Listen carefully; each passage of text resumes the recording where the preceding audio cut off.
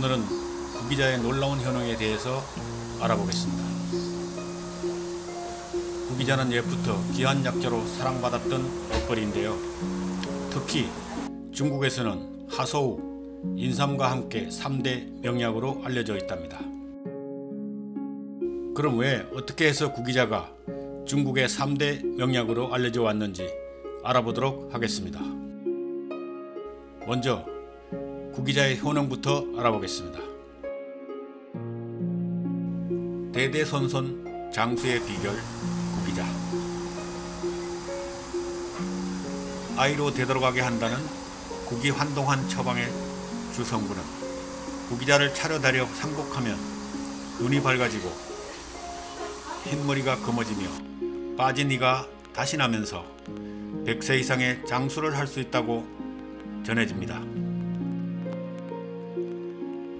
또한 본초비어에서 폐를 윤택하게 하고 간을 맑게 하며 대소장을 통리하고 기를 복돋으며 본초 강목에서는 정기를 보호하고 신을 편하게 하여 무병 장수케 한다고 소개하고 있습니다.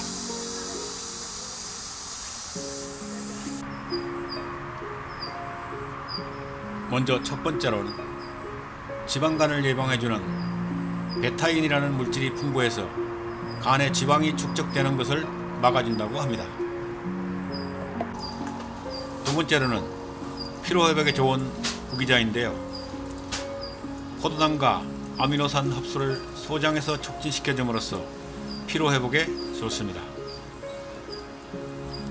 셋째, 혈압 조절입니다. 비타민C와 루틴이 풍부해서 혈관을 튼튼하게 해주고 저혈압에 좋은 영향을 줍니다. 넷째, 혈당을 낮춰줍니다. 베타카로틴이 체내의 인슐린 분비를 도와 혈당을 낮춰주는데 도움을 줍니다. 또한 면역력 증강과 콜레스테롤 강화해줍니다. 혼자 사는 남성이 먹으면 안 되는 것 바로 구기자라고 합니다.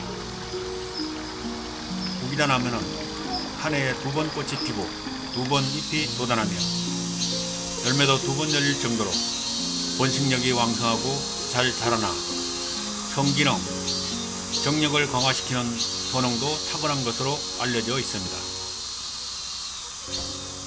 한방적으로 신장과 간장에 작용하는 구기자가 성기능을 주관하는 신장과 성기 주변으로 통하는 간장 경락을 좋게 하여 최고의 정력제로 이용되며 야생 정력초, 즉 과실 비아그라라고 불립니다.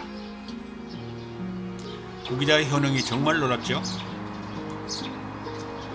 다음은 구기자의 먹는 방법에 대해서 알아보겠습니다. 구기자를 말려서 차로 먹거나 견과류처럼 간단하게 먹는데요. 또한 생수 대용으로 연하게 우려 마시는 것이 좋습니다. 물컵 한 잔에 구기자를 7알 정도 넣고 뜨거운 물에 1분 이상 우려 마시면 됩니다. 물 2리터에 종이컵 3분의 1컵 정도를 넣고 연하게 우려 물 대신 마시면 됩니다.